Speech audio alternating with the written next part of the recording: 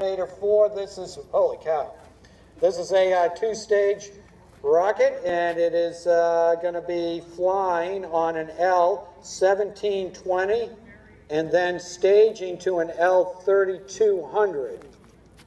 So this thing is going to be up there around 15, 16,000 feet easily. So keep an eye on this. Uh, sometimes two-stage rockets tend to get squirrely. It's the big tall one with the multiple sets of fins.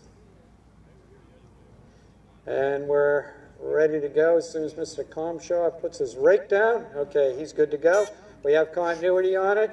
And we're going with Team Harden's two-stage in five, four, three, two, one. There's one.